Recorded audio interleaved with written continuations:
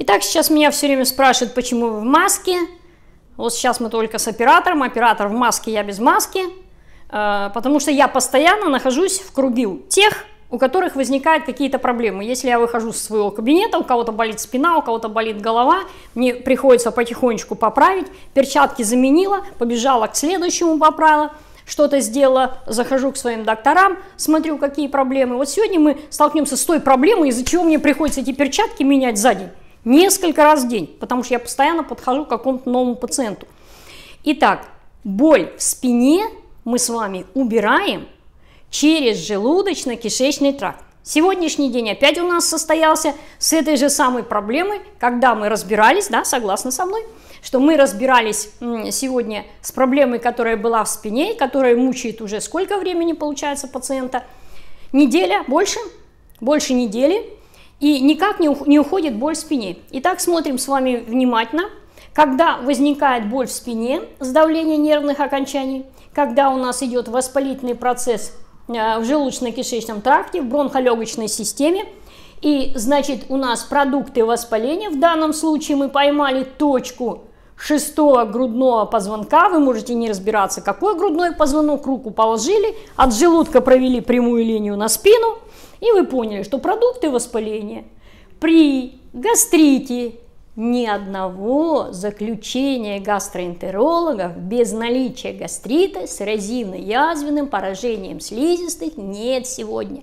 Нет мне такого пациента. Пришлите мне кто-нибудь свои исследования, чтобы у вас не было там гастрита.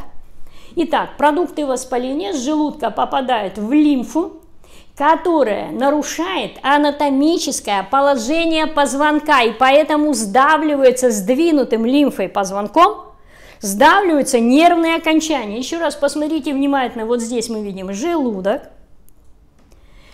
Эрозивно-язвенный процесс, идущий в желудке, приводит к увеличению лимфатических узлов поддиафрагмальных, как это происходит при ангине – и эти лимфатические узлы, посмотрим внимательно, вот здесь у нас показан позвоночный столб, нарушают кровоснабжение позвонков, приводя к смещению их и к сдавлению нервного окончания, застою, закислению боли.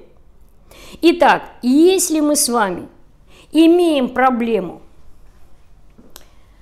идущего воспаления в желудке – значит, кладем кулачок или кладем пальчик. У нас с пальчиком получилась система, да? У нас с пальчиком получилось убрать эту тему, да? Вот. И потихонечку, не напрягая плеч, начинаем работать с областью желудка, то выпихиваем свой живот, то убираем его назад. Не вверх, а назад. Подышали животом, большой живот сделали, маленький живот сделали, большой живот сделали, маленький живот сделали. Вы убрали лимфостаз под диафрагмальных лимфоузлов, и нервные окончания освобождаются. Ушла боль совершенно. Сколько мы работали минут? Пять. Пять минут мы работали по устранению боли в спине через желудок. Если у нас воспаление очень частая проблема идет крестцово-копчиковом отделе позвоночника, значит, мы имеем воспалительный процесс тонкого кишечника.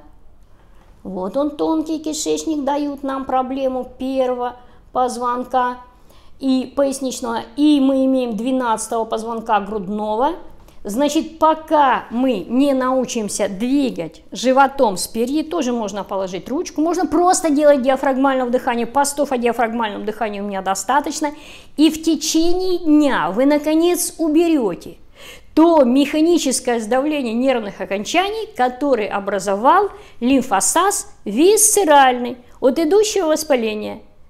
Не можем не стресничать, не можем не убирать застой желчи, его заброс в желудок, Тогда занимаемся с вами диафрагмальным дыханием, убирая последствия этого воспаления. Прекрасно жить без боли в спине? Отлично! Поэтому, слава богу, у нас есть методики, но осознанные методики. Откуда проблема идет, с того и начинаем лечение здорового вам позвоночника и отсутствия боли.